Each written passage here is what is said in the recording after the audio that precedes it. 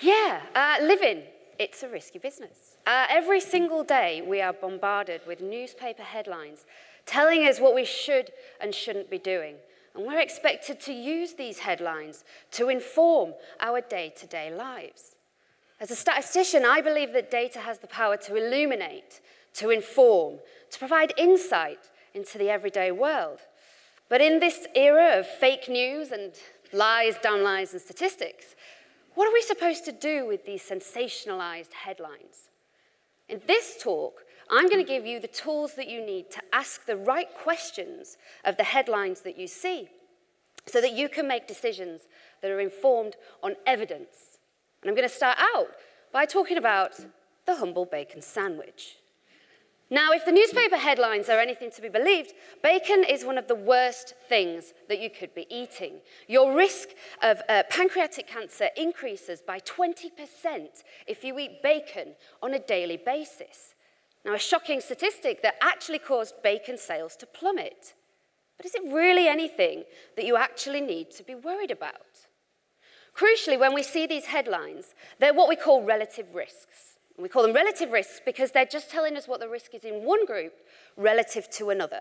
I know that if I eat bacon, my chance of pancreatic cancer is 20% higher than if I didn't eat bacon. But it doesn't tell me anything about what my risk is. To do that, I need to know what the absolute risks are, and they depend on the actual numbers. So, how do I take those relative risks that I see in the newspaper headlines and turn them into absolute risks which are useful. To first, first of all, I need to know what are my chances of getting pancreatic cancer? According to Cancer Research UK, we have a 1 in 80 lifetime risk of pancreatic cancer. What does that mean? If we were to take 400 individuals who didn't eat bacon, we would expect five of them to get pancreatic cancer anyway. So then let's look back at our headline. It says that our daily fry up boosts our cancer risk by 20%. Okay, that's a fifth. What's a fifth of five? It's just one. Meaning that my risk of pancreatic cancer goes from five in every 400 individuals to six in every 400 individuals. It's only an extra one person in every 400. So whilst that 20% increase sounds really shocking, sounds really scary, just an extra one person in every 400 all of a sudden doesn't sound anywhere near as bad. There were headlines that said bacon, ham, and sausages were now as big a threat as smoking, the World Health Organization to warn. Now, the reason behind this headline is that the WHO produce these lists every year of known risk factors for different types of cancer. And smoking was already on there as a known risk factor for lung cancer, and processed meat was going on this list for the first time. So they were saying that they now were as risky as each other. How do the risks for lung cancer and smoking compare to those that we've just seen for pancreatic cancer and bacon? If you take 400 individuals who don't smoke, you would expect four of them to get lung cancer anyway. If you smoke 25 or more cigarettes every day, that actually goes up 24 times to 96 in every 400. So it's an extra 92 in every 400 compared to that extra one in every 400 for pancreatic cancer. Now, these lists, they're based on what we call statistical significance. And statistical significance just tells us whether or not something definitely does or definitely doesn't cause cancer. So yes, Bacon may be statistically significant in causing pancreatic cancer, but to say that it is as big a threat, to say it is as risky as smoking, you can see is absolute nonsense because the risks are completely different. Also, what we need to think about is that this compared the two extremes. It compared those who ate bacon every single day with those who never ate it. And the risk was only an extra one in every 400. If you eat bacon once a week as a treat to yourself, say a Saturday morning, that's going to have an even smaller effect on your risk of pancreatic cancer. But newspaper headlines love to take the two extremes and use them as a justification for never doing an activity. Also, if you're eating bacon for breakfast every day, you're not eating fruit for breakfast every day. You may be more likely to have an unhealthy lifestyle in general. So, how do we know that it's the bacon that's actually caused this increased risk of cancer and it's not one of these other unhealthy lifestyle factors instead? And what we say in statistics is that correlation doesn't always mean causation. The best way to explain that is to think about ice cream sales. As ice cream sales go up, so do the number of drownings. So, does that mean that ice cream causes drownings? No. Both of these things are affected by a third factor, what we call a confounding factor, and that's the temperature. As the temperatures increase, so too do the number of ice cream sales, and also so too do the number of people who go in the water, meaning that naturally there are more drownings. And we can allow for this confounding factor in our statistical analysis. And once we do that, that direct relationship between ice cream sales and drownings actually disappears. Spurious correlations are absolutely everywhere. Did you know that there is a 95% correlation between the per capita consumption of cheese and the number of people who died by becoming tangled in their bed sheets? So does, does this mean we shouldn't eat cheese before we go to bed because we might die? Of course not. These are two things that just happen to be correlated with each other. And it doesn't mean that one is necessarily causing the other. There's some great examples of correlation versus causation in the news. Uh, there's some lovely headlines that say fizzy drinks make teenagers violent. Uh, children drinking fizzy drinks are regularly more likely to carry a gun. now, it could be, it could be that drinking fizzy drinks makes teenagers violent, um, or it could be that there is a third confounding, say, social demographic factor that means teenagers are more likely to be violent and also means that they are more likely to drink fizzy drinks. Or it could be that being violent is thirsty work and at the end of it you want a fizzy drink. we don't know which way round this relationship goes. I was asked to comment on a story in the BBC uh, that looked at dementia and it said living near a busy road increased your risk of dementia. Now, when I went and looked at the study in more detail, crucially, this study didn't allow for family history in their analysis. We know that there's a big family history element when it comes to dementia, but I also argued that there's probably a family history element in where you live. If you grow up in the middle of a big city, you might be more likely to live in a big city yourself as you get older.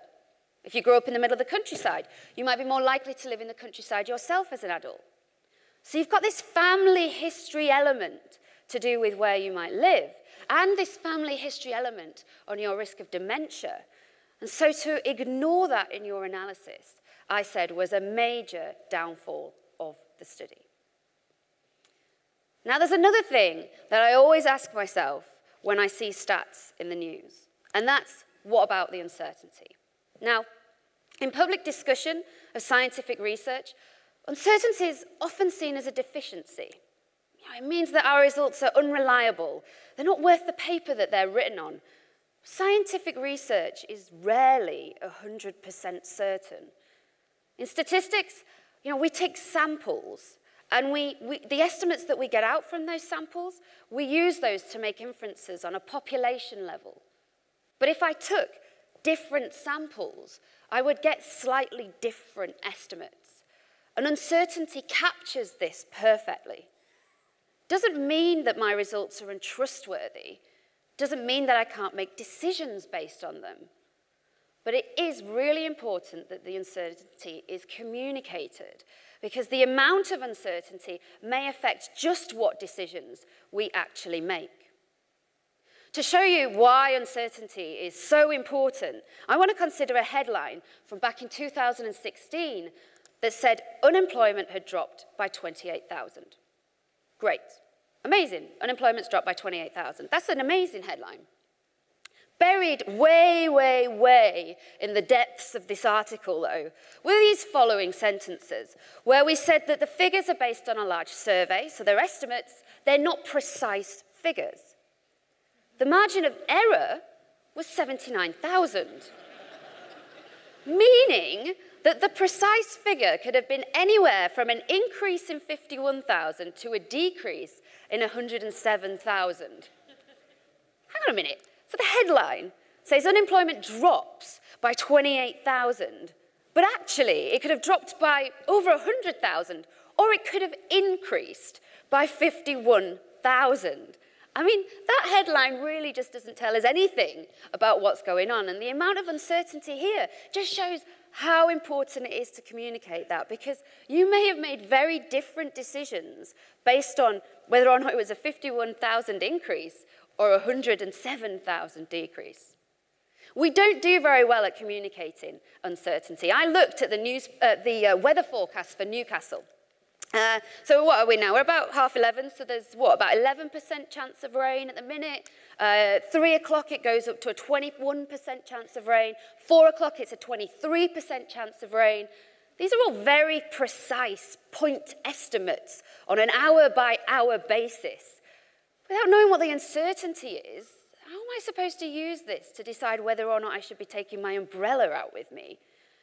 Uncertainty it doesn't need to be very difficult to communicate. Graphics, they're a great way of communicating very complex statistical information in a very efficient way. And wide confidence bars would show that we've got a lot of uncertainty and maybe our results aren't as reliable as if we had short confidence bars that show that we're very certain about the results that we get. Said graphics, they have the ability to do great good they also have the ability to do great evil. Um, I want to share with you now uh, some of my favorite bad graphics, just to make you aware of some of the pitfalls that you should be looking out for. Uh, the first one comes from Fox News. This is the 2012 presidential run. Now, for those of you not familiar with pie charts, uh, these percentages, these percentages should sum up to 100%. You usually use pie charts when it's an either or. So, which of these candidates do you support? And, and, that would have been fine in a pie chart. What I suspect they've asked here is would you back this candidate, yes or no? And they felt a pie chart um, was the best way to communicate that information. Uh, it isn't. It's not the best way to communicate that information. Um, the Office of National Statistics deserve a slap on the wrist for this graphic. Uh, so this is looking at uh, GDP uh, estimates. So it's the uh, increases in GDP estimates. And they had two estimates of this. The first one that was uh, a growth of 0.6%, and then a second estimate, which was a growth of 0.7%. So the difference between these two estimates is 0.1 percentage point. However, by zooming in sufficiently far on this plot, makes it look like the difference in estimates is, is huge. So there's a lesson that when you see plots, they could tell very different stories, whether or not they're zoomed in or zoomed out. So always make sure that you're looking at the axes and see just how zoomed in uh, your plots are. And my last favorite bad graphic is by Ben and Jerry's, and it's really awful. Uh, ben and Jerry's seem to think that 62% is smaller than 61%, and that 24% is quite a lot smaller than 21%. Um, here is an example of Ben & Jerry's wanting to tell a particular story.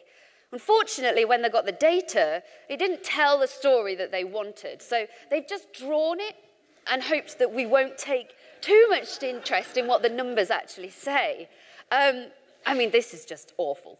Um, and it's a really nice example of really bad graphics and why you should always really pay attention to the details. Have a look at the numbers, not just what the bars are telling you. So, just like to uh, finish by saying it's not all doom and gloom. Um, I don't know if any of you read the BBC uh, earlier on this week. There was a story on the BBC on Monday that said that red meat was back on the menu.